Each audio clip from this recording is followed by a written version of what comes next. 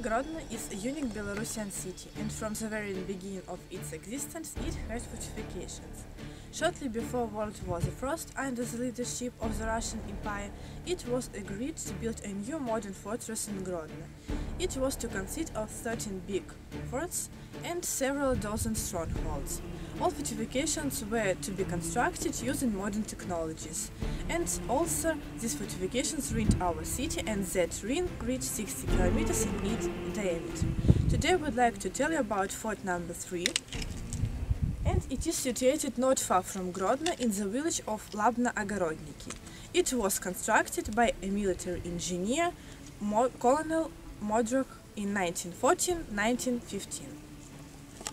Uh, their fort is a big concrete construction. At the front, uh, it is covered by sail and discrete. In the uh, back there are fire positions and uh, fire also entrances.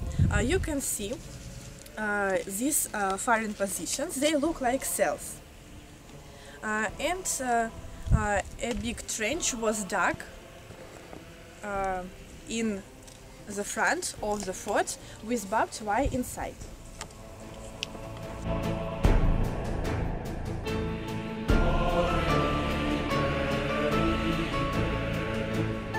Of the fort uh, consisted of a food company, a bomb squad and gunners.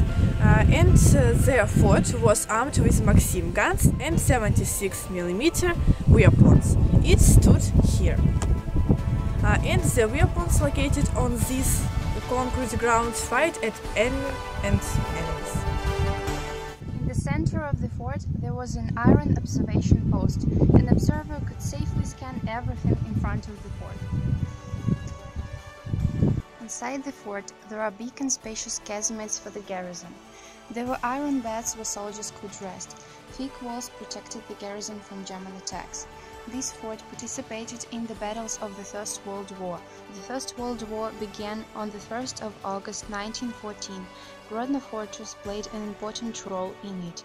On the 1st-2nd of September 1915, heavy fighting broke out for the fort number 3. On the 31st of August, 1st of September, this fort and other fortifications were heavily cannoned by German artillery. Several batteries smothered the fort with artillery shells.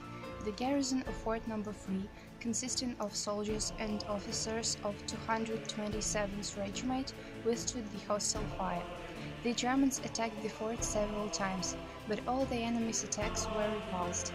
At, in, in evening uh, 1915, on the 1st of September, uh, the command of the fort ordered to back the fort down and to blow it up. At night, uh, the engineer Modrak and his soldiers blew the fort up.